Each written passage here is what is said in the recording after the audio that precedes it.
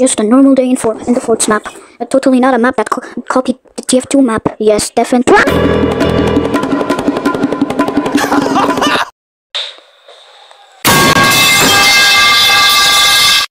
Yo, what's up?